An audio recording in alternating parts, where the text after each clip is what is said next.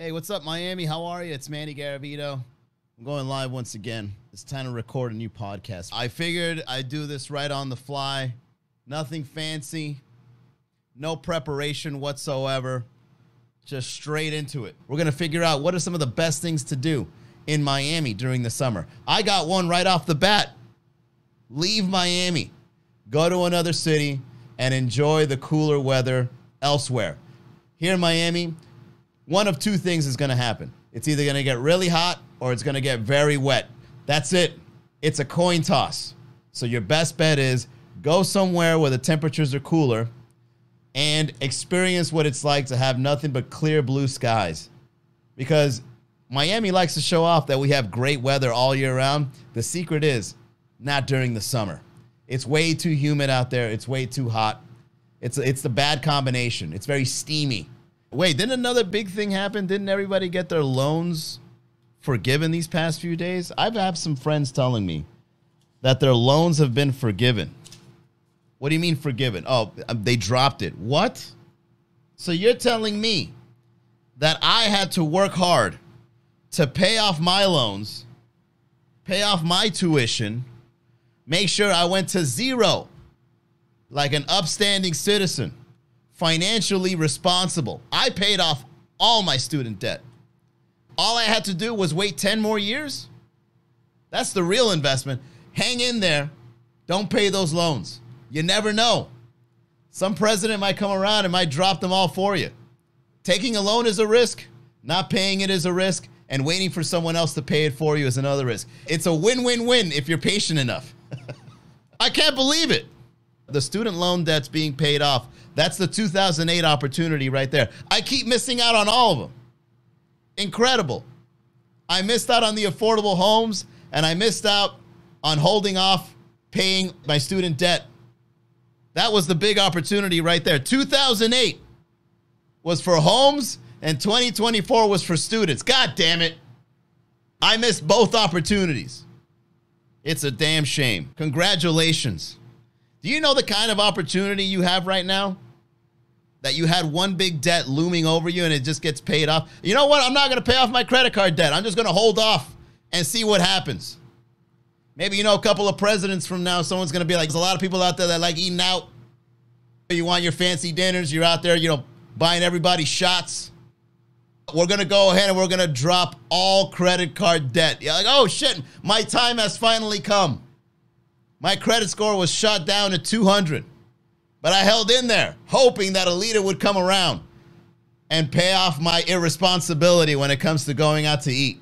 I go out and I, I go to Sexy Fish and I get two little pieces of fish for $80. That's what I do. That's my problem. Hey, that's another thing to do during the summer in Miami. You go out and you just start treating yourself nice because it's not season right now. People of Miami, all the venue owners, restaurants, and people in hospitality know that this isn't the busy season for us. Why? Because everybody is leaving Miami to go elsewhere. So there's going to be lots of specials going on, lots of empty space. And keep your eyes peeled for something that's very affordable and very luxurious at the same time, whether it be happy hours, whether it be lunch specials. Hell, maybe if you join some sort of dinner rewards membership, they might hook you up so make sure you sign up to all the email lists and all your favorite restaurants because summer is around the corner. And believe me, they're going to feel it like they do every single year. Remember the almanac from Back to the Future 2 and that's how Biff got all his money? What you should do is make a Back to the Future and what you do is you go back in time and you invest money in all those big opportunities that everybody had. Go back to college and you go hard. I'm not talking about getting a bachelor's degree. You go hard. You go over, you study overseas, and you get a, a local American student loan, and you go travel and you go into dorm rooms. You start banging a bunch of European bitches, and you start going to high end schools. Go ahead and get your doctor's degree. Study whatever the hell you want because you know that in 2024 there's going to be a president that's going to that's going to pay it all off for you. And then you had the best experience of your life in your 20s. That's it. That should be the next Back to the Future movie. So here's what you do you discover the DeLorean, you save up some money, Then you get into the DeLorean with a big old sack of money, and then you just go back in time, and then you start investing in shit. Make a time traveling movie where people take people get big opportunities from the past. Did you pay off your student debt? I did, and I worked very hard to do that. Did you know in 2024 the president's going to pay it off for you? No.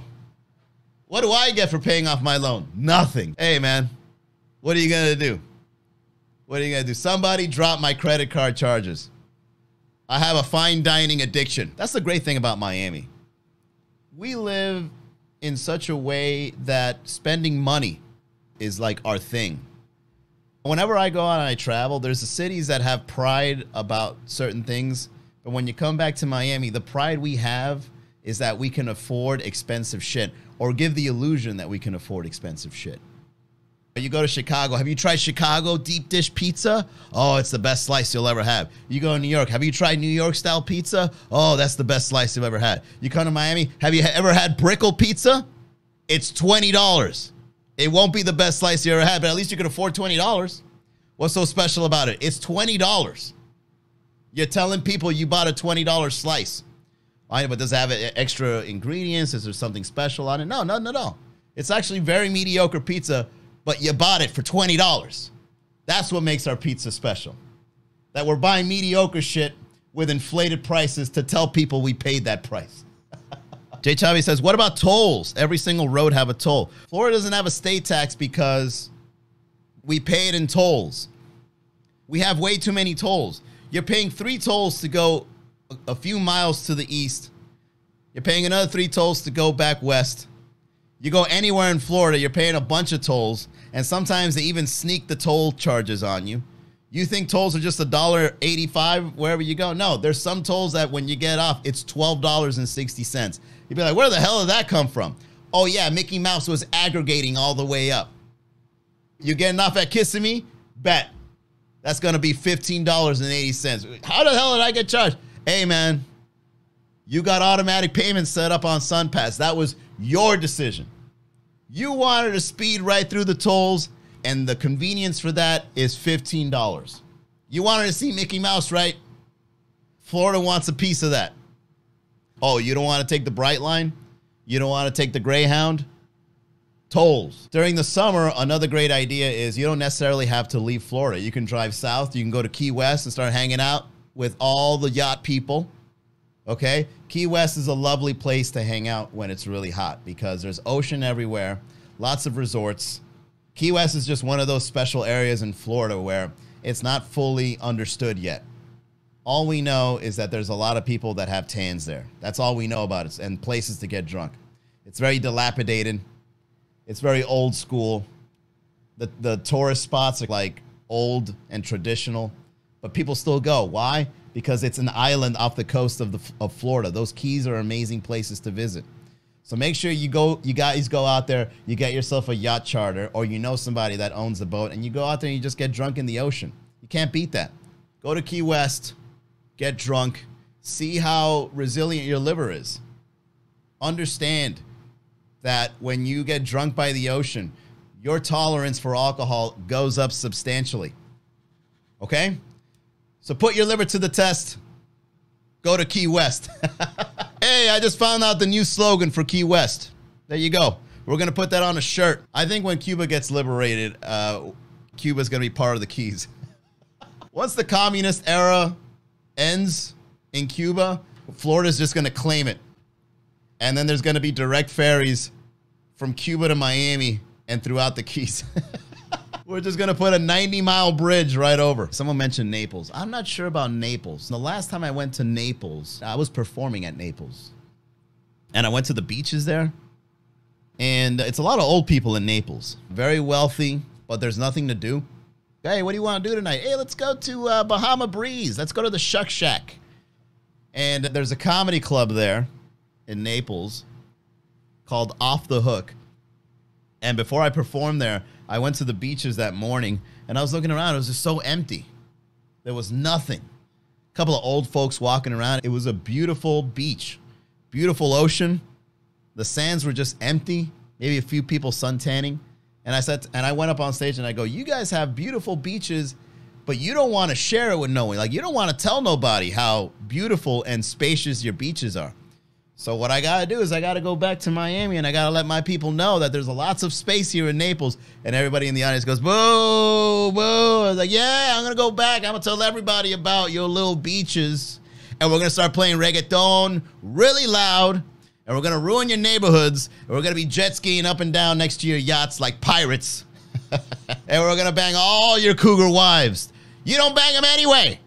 Let the Latinos do it for you. You probably like to watch. That's what I did. I went over to Naples. I started roasting everybody. It was fun. I haven't been booked since, but hey, I like Naples. It's just the people. They don't want you to know how great. They keep it a secret. They're talking to politicians to take it off the map. I've never seen one brochure about going to Naples for vacation. You know why? Because I know there's a committee of old people in Naples just tearing down those racks. We're going to sabotage your business old people protesting outside. Stop telling people about our city. Sergio says spring break 2025 in Naples. Hey, great idea. Why don't we do that? How about we no longer focus on spring break in Miami and we go to all the other beaches? It's a new era. Why not turn Naples into the new spring break place? You know what? Spring break should be a tour, not a vacation destination. It should be a tour. That's what spring break should be the spring break beach invasion, where you don't know if it's going to be your beach. You pray to God that it's not your beach this year. and we choose one random beach from all of Florida to invade. And all the party people show up and they start twerking on cars and golf carts. And we just invade an entire beach area.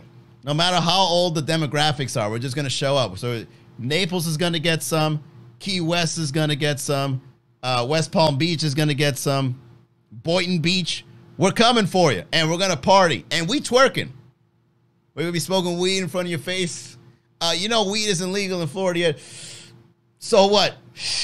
That's what it should be. Thank you very much for tuning into the live stream. In case you don't know, I go live at random, record a little podcast for you. Support the podcast if you're watching this, okay? You were part of a live recording here. Go to miamicomedy.com slash podcast. Subscribe just look at Miami Comedy Podcast and just hit the follow button. All right, there you go. Thank you very much.